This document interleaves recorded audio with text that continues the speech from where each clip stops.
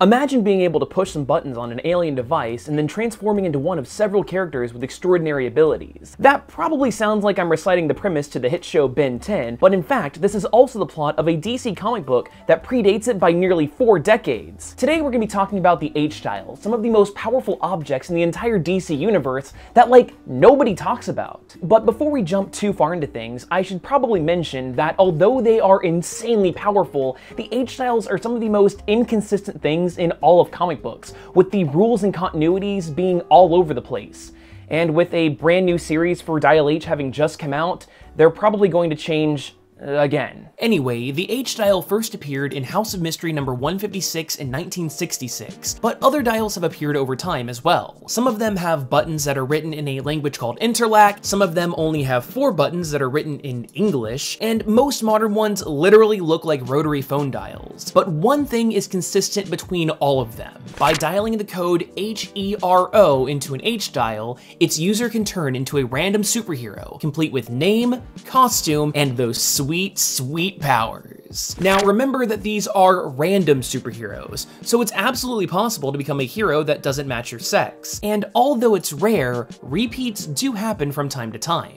Regardless, this random element opens up a lot of creative possibility and is a comic creator's dream almost every single time, the heroes that users turn into are all new creations, with basically no limits as to what their powers can be. If it's a dumb or silly concept, then it's no big deal since it's just a one-off. That's how you get characters like Afterburner, Bumper Carla, and Monster Truck. However, while most of these creations are all new characters, someone using the H-Dial can turn into established superheroes, such as Plastic Man and even The Flash. Although an H-Dial is supposed to simply copy the powers of a hero, a broken dial can occasionally straight up steal powers, and some really broken ones straight up steal them every single time. In the case of the Flash, we actually got to see this power theft happen in real time, as his powers were dialed right in the middle of a storyline in the Flash series. Barry Allen was left absolutely powerless until the dialer relinquished the abilities, which meant that he had to rely on his villain's technology that he borrowed from evidence storage. So how does a dialer return back to normal? Well, it depends on the continuity and the dial itself. In most instances, you need to reverse dial O-R-E-H, which is hero spelled backwards, in order to become normal again. Other times, it's a time limit and reverse dialing simply speeds up the timer. Regardless, reverting to human form undoes any damage that's sustained as a hero, and successfully reverse dialing can only be achieved if the transformed hero themselves does it, which means that if an enemy gets their hands on a dial, they can't power their opponent down. Now, if the enemy was able to sever the hand of the user and then use that to reverse dial, it totally works. Now, I'm not sure if breaking a dial while transformed would revert the user back, as to my knowledge that hasn't happened in the comics. I find it pretty unlikely that we'll ever find out though, since the dials are strong enough to survive a fall from space and are also strong enough to withstand a thermite blast. In earlier continuities, the recharge time before transforming again was random. It could be days, hours, or even seconds. These days, they absolutely need time to recharge, which I personally like as it sort of balances how overpowered these things can be. This way you can't just keep dialing over and over again until you get someone as powerful as Superman, which, by the way, is totally possible. Other limitations include how two people can't use the same dial at once, and an H-dial only works if you believe yourself to be a hero, although these rules only apply in the modern era.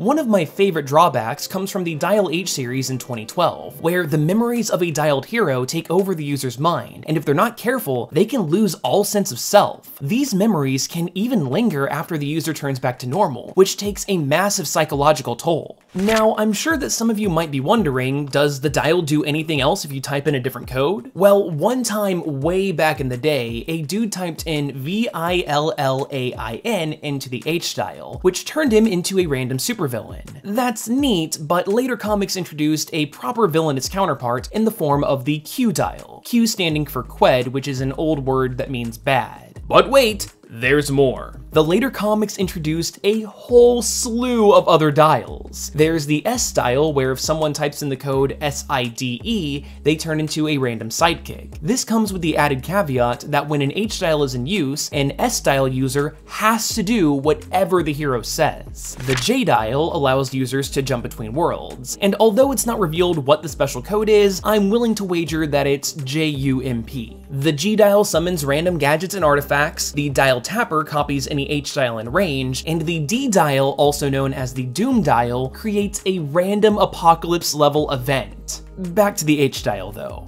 There's a few extra bits of details that makes them somehow even more powerful. One dialer, Chris King, managed to internalize some of his dial's power, and even without it, he involuntarily changes into a new hero every single hour. Thankfully, Star Labs built him a suit to contain these changes though.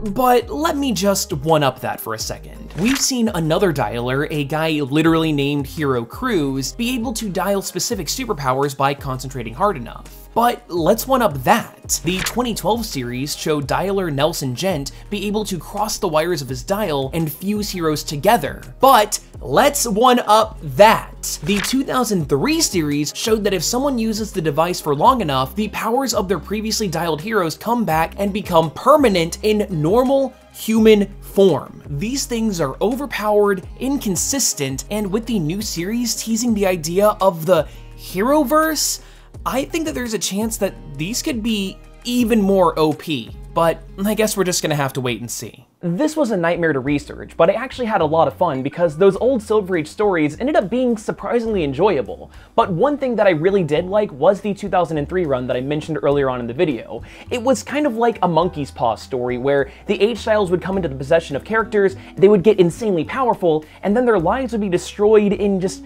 interesting ways before the dial then gets moved over to somebody else for the entire process to repeat again. So if that sounds interesting, then definitely give that a read. I honestly enjoyed it. But before we go, I want to give a quick shout out to at Xeno underscore Odyssey J for retweeting my last video. It means a whole lot. And if you want a shout out, this might be a recurring thing, maybe retweet this video. Twitter, at Trailer Drake. But if you like this video, then why not consider subscribing, or even watching another one? And if you like this, you probably like obscure DC Comics trivia, so why not watch the video that I did with my friend Billiam on the DC Comics Bionicle books? It's weird, so I don't know, give that a click or something. But anyway, I hope you learned at least a little something new, and hopefully, I'll see you next time.